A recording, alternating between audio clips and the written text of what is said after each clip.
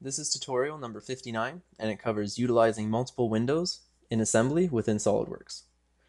Now what we're going to do with the multiple windows is we're going to create an assembly and put all of the shapes into the right spaces in the block template. Now to start off, before we begin, you have to make sure that you have all the parts saved. Now let's click File, click New, and we'll open up a new assembly. Click OK. And let's click Window, and we'll make it tile horizontally. And we have our assembly in the top left. Now let's clear this. And all we have to do, instead of browsing for parts, is we just drag them in and we mate them. So to start off, let's drag in the block template. And let's bring in the square.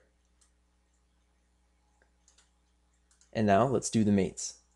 Click mate, click this face, and we'll click the back face, and we'll make them coincident. Click OK.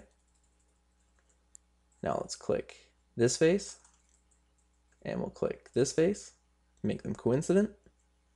Click this face, and click this face, make them coincident. Click OK. And now we've put the block in. Click OK. Now let's go for the circle. Let's drag it in. And let's start the mates.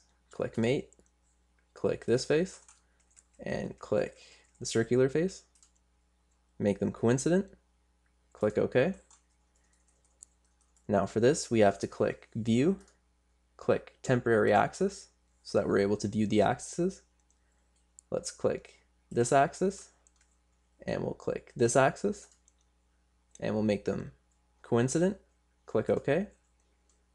Click OK. And now we have our circle in. Now let's do the triangle. Let's drag it in. And we'll start the mates. Click mate. Click this face. And we'll click this face. Make them coincident. Click OK. Now let's click the bottom face and we'll click this face here and we'll make them coincident. Now let's drag this out, click this face, and we'll click this face, click OK, and now we've put in the triangle.